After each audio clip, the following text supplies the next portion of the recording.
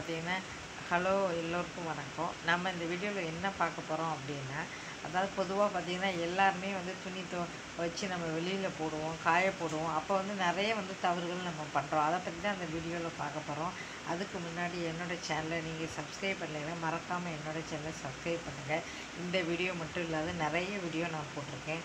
அந்த வீடியோலாம் மறக்காமல் உங்களுக்கு பிடிச்ச வீடியோலாம் பாருங்கள் அதுக்கப்புறம் பார்த்தா துணி உணர்த்திட்ட போது நம்ம வந்து முடிஞ்ச வரை வந்து நம்ம வந்து என்ன பண்ணலான்னா வெயிலே போடலாம். வெயிலில் போட முடியாத பட்சத்தில் நம்ம வந்து வீட்டுக்குள்ளே வந்து போட்டுக்கலாம். அதை பற்றி தவறு கிடையாது. ஆனால் வந்து நல்லா வந்து காயணும். நல்ல வெயில் காலத்தில் எல்லாருக்குமே தெரியும் சீக்கிரமே காயும். ஆனால் குளிர் காலத்தில் ரெண்டு நாள் நாள் காயாது. அந்த மாதிரி சமயத்தில் டக்குன்னு எடுத்து உள்ளே வச்சிடக்கூடாது அதில் பாக்டீரியாலாம் இருக்கும்.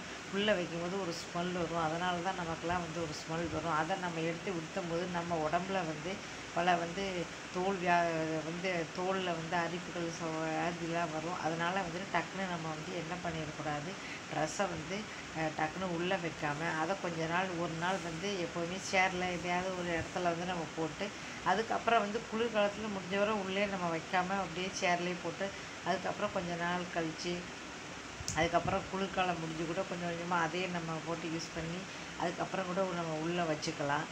நல்லா வந்து ரெண்டு நாள் மூணு நாள் இல்லைன்னா காய வச்சு தான் நம்ம உள்ளே வைக்கணும். அப்படி இல்லைன்னா நம்ம உள்ளவே வைக்கக்கூடாது பொதுவாக பார்த்திங்கன்னா அதே மாதிரி சூரிய வெளிச்சத்துலேயும் ரொம்ப நேரம் நம்ம அந்த துணியை வந்து நம்ம போடக்கூடாது. குறிப்பிட்ட ஒரு மணி நேரம் ரெண்டு மணி நேரம் போட்டு அதுக்கப்புறம் நம்ம உணர்த்திக்கலாம். அது உணர்த்தும் போது வந்து நம்ம பார்த்து எப்போவுமே உணர்த்தணும். அதில் பார்த்தீங்கன்னா துணி எடுக்கும் போதே உங்களுக்கு தெரியும்.